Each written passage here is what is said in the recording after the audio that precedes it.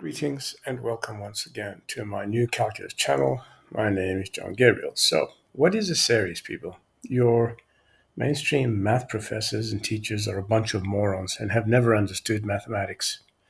Uh, you know, and it's really funny when they try to define things like series because they don't have a clue what a series is. So, series is also a Greek word and it means in a row. Okay, things that can be lined up in a row, in in a row or rows. So um, 1, 2, 1 plus 2 plus 3 plus 4 is a series, and it can be written as a partial sum. That 1 plus 2 plus 3 plus 4 is a partial sum. Another partial sum is plus 5.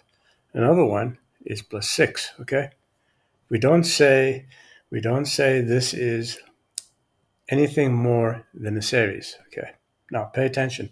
We do the same thing with a half a quarter, an eighth, sixteenth, one thirty-two, one sixty-fourth, etc. Okay, doesn't matter. This is also a series. Now, the fact that a series can be extended means it has a general term, right? So as I've just shown you, I've extended both these two series here. See, this series and this series. And I can extend them as far as I'm able to. And again, I don't call them infinite series because they're not. There's no such thing as an infinite series, and you shouldn't use that word. It's absolute garbage.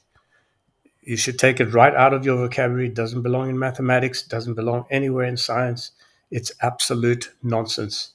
Okay, now here comes the tricky part. When an nth partial sum converges, we say it has a limit. We, meaning I, John Gabriel, not your mainstream professors. They're a bunch of fucking morons. When an nth partial sum converges, we say it has a limit. Now, when you write the sigma sign like that, you can say from k equals 1 x. You don't have to put anything up there if you're not looking at any particular partial sum.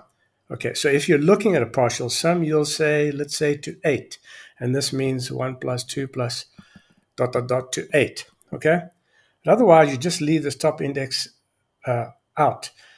There's no such thing as there's no such thing as this. This BS that you see often in your math textbooks and that your moronic professors tell you.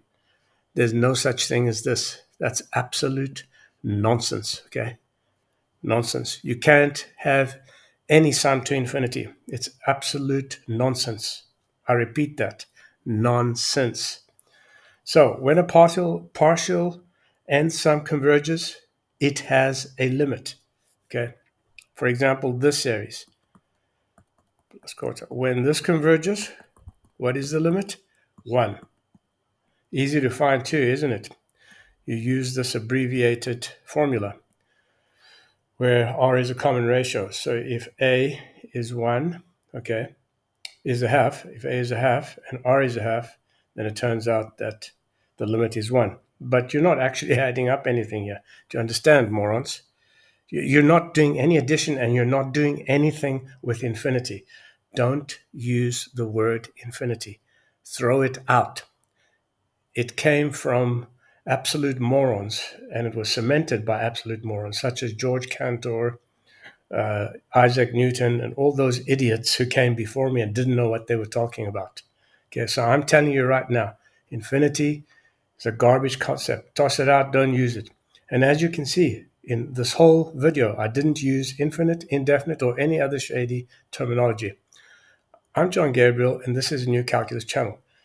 If you're not a subscriber, become a subscriber to my channel. Follow me on academia.edu, and I'll be chatting again with you soon. Goodbye.